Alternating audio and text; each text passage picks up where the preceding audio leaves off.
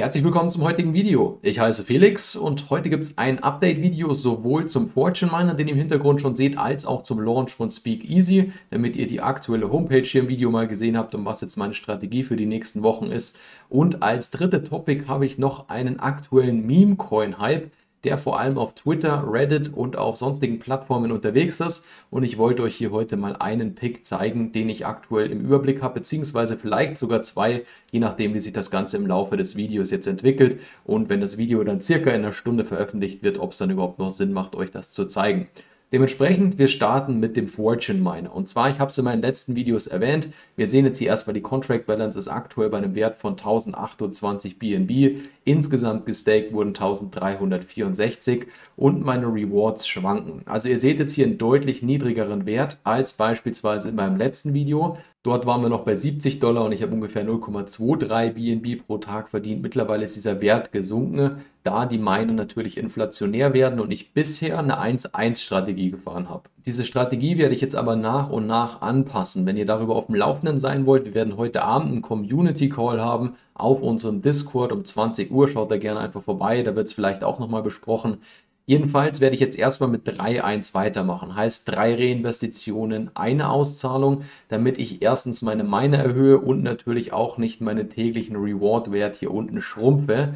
Zusätzlich, was auch auffällt, wenn wir nochmal auf das letzte Video springen, dann seht ihr, hier waren Miner verfügbar. Also wenn man quasi ein BNB eingezahlt hat, hätte man rund 300 Miner bekommen.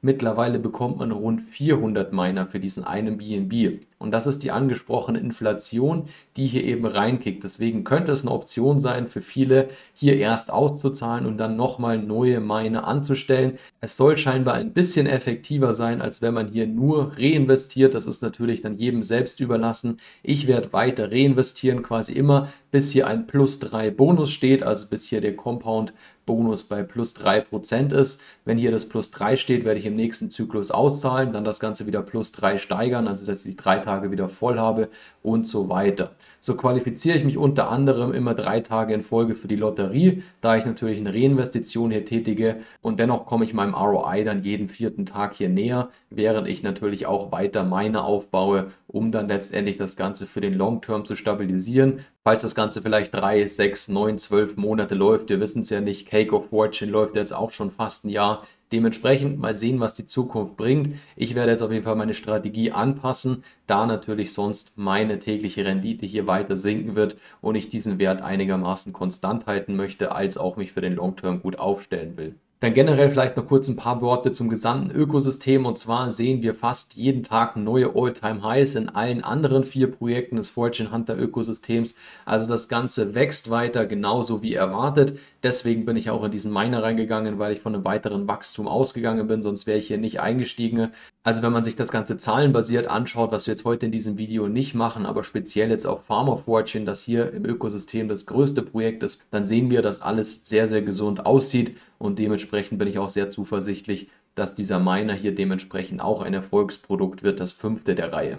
Und von dem Miner wollen wir jetzt übergehen zu Speakeasy. Ich habe ja gestern noch mal ein komplettes Übersichtsvideo gemacht, in dem ich euch alles gezeigt habe, wie man beispielsweise die Membership Keycards kaufen kann oder die Cocktails auf dem Secondary Marketplace. Und jetzt hier im Hintergrund sehen wir die Homepage. Ich bin natürlich gestern auch direkt zum Launch eingestiegen und habe dementsprechend hier ein bisschen was eingezahlt. Ich bin jetzt mit 8 BNB reingegangen und werden jetzt mal schauen, wie sich das Ganze entwickelt. Wir haben mittlerweile Einzahlungen von 460 BNB, sind noch nicht mal 24 Stunden um. In der Bank, also quasi unsere Investment Wallet, liegen jetzt aktuell rund 80.000 US-Dollar. Das ist das Geld, das investiert wird, um zusätzliche Rendite zu erwirtschaften. Also ihr seht, der Wert ist größer als 50 Prozent der Balance, die aktuell im Pot ist, also in der Auszahlungswallet. Und das ist sehr, sehr gesund und freut mich, dass das Ganze hier in den ersten 24 Stunden so eine Adaption gefunden hat und so viele Leute hier reingehen. Und ich denke, dass es in Zukunft noch wesentlich mehr wird. Ihr habt es ja wahrscheinlich im gestrigen Video gehört. Ich bin sehr, sehr zuversichtlich, was das ganze Projekt hier angeht, auf die nächsten Monate gesehen, da wir wirklich erst ganz am Anfang sind und es immer schön ist, direkt von Anfang an in solchen Projekten dabei zu sein,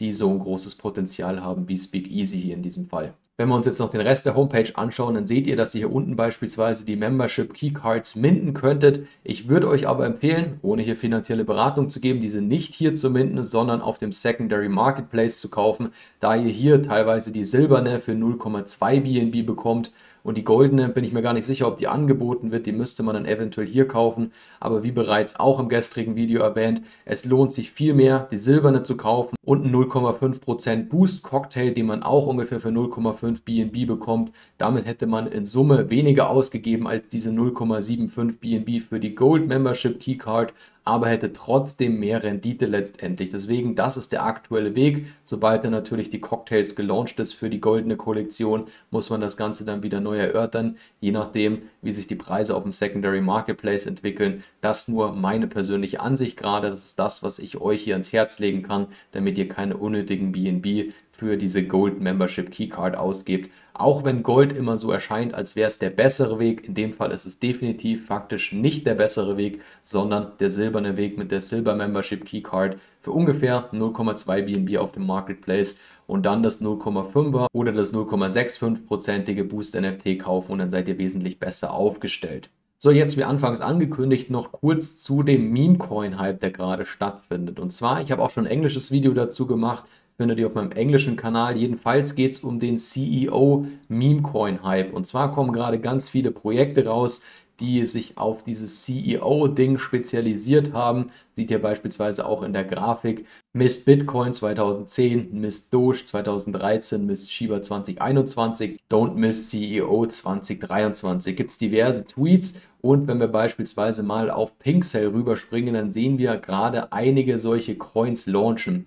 Und den, den ich jetzt gerade am Beobachten bin, das ist dieser Paw CEO Presale. Das hatte nämlich schon ein Projekt, das Ganze launcht jetzt, sobald der Presale zumindest das Softcap erreicht von 15 Ethereum. Denn wir hatten, wie gesagt, schon ein Vorgängerprojekt auf der Binance Smart Chain. Den Chart sehen wir hier im Hintergrund. Der Chart schaut jetzt für einen Meme-Coin noch relativ ordentlich aus. Das Ganze ist ungefähr gelauncht hier bei vielen Nullern und 4 Cent und war im Peak dann tatsächlich bei einem 4x. Und das ist das, worauf ich hier achte. Nicht, das sind keine langfristigen Projekte oder sonstiges, sondern schöne Flips, die man mitnehmen kann. Und da hier bereits eine Community besteht, wie wir hier auf Telegram jetzt aktuell sehen, das ist die Gruppe mit aktuell 3200 Membern, wo circa immer 300, 400 online sind. Also wenn ihr hier so eine 10 zu 1 Rate seht von Membern zu online, dann ist das sehr gesund und ein Indiz dafür, dass jetzt nicht allzu viele Bots hier drin sind. Ganz ausschließen kann man es natürlich nicht. Aber die Gruppe ist aktiv und das ist das Wichtigste, worauf man hier achten sollte. Aktivität. Das gefühlt jede fünf Sekunden hier eine Nachricht reinkommt, das ist immer ein sehr, sehr guter Indikator, dass hier eine Community dahinter ist und potenziell Kaufdruck auf den Coin kommen sollte. Und ein weiteres Projekt, da es jetzt auch im Presale ist und sich gerade sehr, sehr gut füllt und ich denke, dass wenn das Video um 17 Uhr rauskommt, noch nicht ganz voll ist, ist Chihuahua CEO. Das Ganze läuft auf der Binance Smart Chain. Hier ist der Softcap bei 70 BNB. Heißt, wenn wir die 70 BNB erreichen, wird der Coin auf jeden Fall launchen.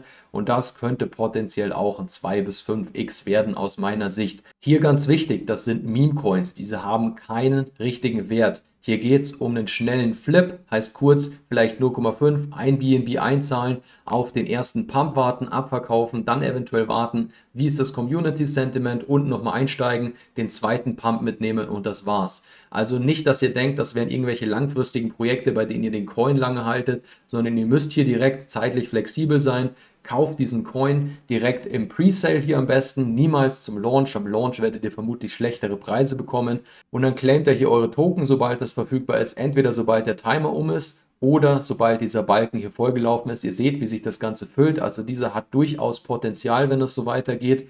Und dann müsstet ihr halt direkt zum Launch verfügbar sein. Ihr findet da meistens in der Telegram-Gruppe. In der Regel ist der Launch so eine Stunde, halbe Stunde, nachdem der Presale hier abgelaufen ist, startet das Ganze. Und da muss man natürlich zeitlich flexibel sein, wenn man unterwegs ist, ist das natürlich nichts. Das nur als Hinweis. So spiele ich diesen Meme-Coin-Hype aktuell mit dem CEO Meme-Coin. Dementsprechend, falls euch das interessiert, schaut gerne mal rein. Ich werde euch diese beiden, die ich euch jetzt im Video gezeigt habe, unten in der Videobeschreibung verlinken. Für den das interessant ist, schaut da gerne mal rein. Wie gesagt, heute Abend 20 Uhr auf unserem Community Discord die Talkrunde. Wer vorbeischauen möchte, Link auch dazu in der Videobeschreibung. Wenn euch das Video gefallen hat, würde ich mich freuen, wenn ihr ein Like da lasst. Das war's für heute. Vielen Dank fürs Zuschauen und bis zum nächsten Mal.